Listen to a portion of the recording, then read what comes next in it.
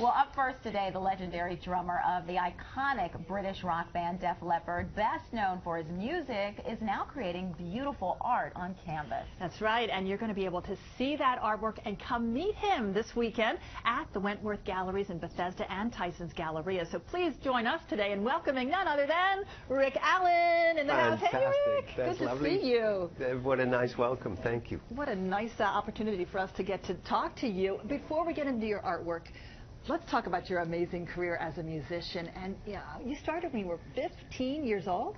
Well, I've been playing drums since I was about uh, 10 years old, and uh, at the ripe old age of sort of 14, I decided I wanted to give up the business. So, uh, you know, it was it was a difficult time. I was playing with local bands, and they were all playing uh, cover songs, and I really wanted to break out and do something more. And um, we saw this uh, article in the in the newspaper, and it said Leppard loses skins. So I went and I uh, I got the uh, I got the audition, and uh, I I got the job. So I never looked back. So, Were you the youngest in the band at that point? yeah, I still am. Yeah, still and they, they, they'll, they'll never let me forget that. You know. And was your mom okay with you joining the band at age 15? Um, yes and no. Uh, she she was really happy for me that uh, that I was doing something that I really loved. Uh, the only problem was myself and my brother. We were both uh, involved with uh, with Def Leppard. Um, you know, once I got the uh, the, the job, and uh, so when she said goodbye, she said goodbye to both of us. She lost two sons to that band, didn't she? So what was that like, being a part of a group on that level at such a young age? Um, at, at the time, um, I was young, and I just I was just loving doing what I love to do, you know, best. And I, I wasn't really seeing into the future. But now, when I look back at uh, the whole experience of it, it's just been a huge gift. And you know, uh, to have come through everything that I've come through, and and be here today is, Let's is talk a about blessing. that, the accident. Take us back to 1984, New Year's Eve, and the car crash.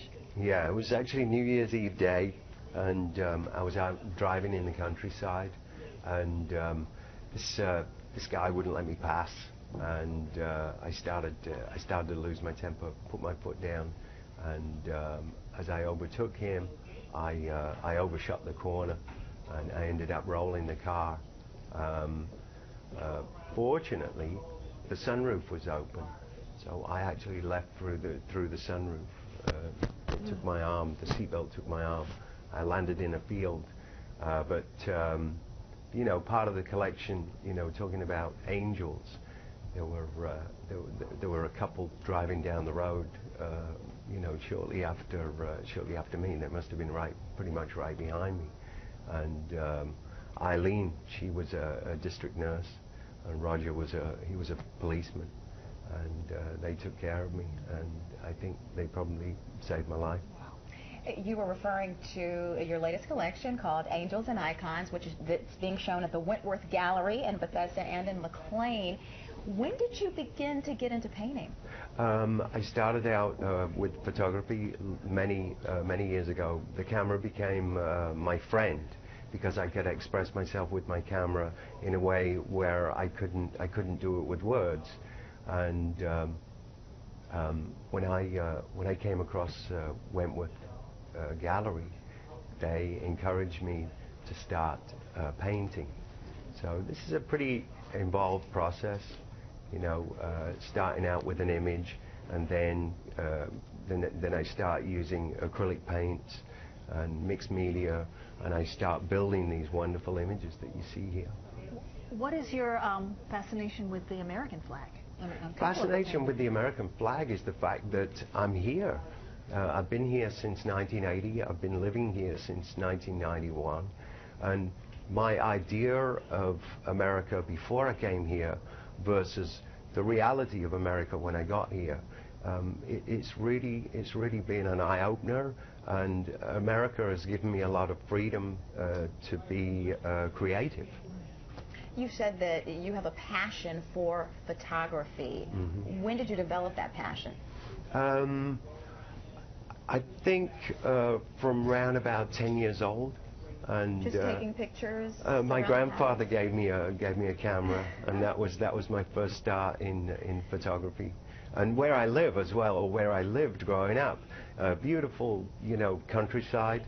So it was it was easy to uh, to appreciate that, and especially taking pictures of it. Then I just appreciated it even more. Can you do you mix your photography with your paintings ever? Yes. So that's what you do. Yeah, I'll start out with an image, and then I'll start to develop it and and start to add paint, and over sometimes long periods of time, I come up with these these pieces that you see, and and they're just they they you know they're they're really special. You're going to be showing them tomorrow, Yes. and you'll be making appearances at both locations. Yes. And you're inviting people to come and take a look, to purchase these um, various works of art, and a portion of the proceeds will go where? Um, it goes towards uh, helping our wounded warriors. Um, uh, because of what I went through, um, as soon as I came into contact with our, with our wounded warriors, I realized they spoke the same language as me. And I'd suffered for a long time in silence. I didn't even know what PTSD was. And then when I met up with uh, some of our warriors, I, uh, I, I realized that I, I suffered from that myself. And, and, and through that meeting, um, I'm able to heal myself, uh, you know, through being with them and spending time with them and working with them. And it's a big part of my life these days. You have been such an inspiration to so many people, especially to wounded warriors, because you kind of share that.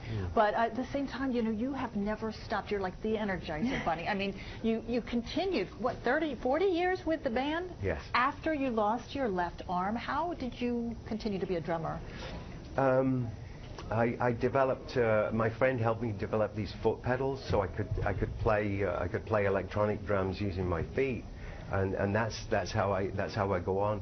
And the fact that uh, we all really love each other, all the guys in the band, you know, through the ups and downs, um, we, we we end up getting closer. And of course, I pull a lot of uh, my inspiration, you know, from my family, uh, from my wife, my kids. So, you know, I, I, have a, I have a good support team around me. Well, if you would like to come out and meet the Rick Allen, you can do that uh, tomorrow uh, and uh, at, in Bethesda and also at Tyson's Corner. Here are the times. It's 12 to 3 in Bethesda at the Wentworth Gallery there, and then at the Wentworth Gallery in Tyson's Galleria from 6 to 9 p.m. Come out and meet Rick Allen and check out his beautiful artwork. Fantastic. What a great start to my day. Thank you. well, thank you. You're making our day. Still ahead on Let's Talk Live after the break, we'll tell you how you can shop small this spring. Stay with us to see how local small businesses are getting your closet and your garden ready for the warm weather. And make sure you follow us on Twitter. We do live tweet during the show, and we will post amazing behind the scenes photos you don't want to miss. We'll be right back.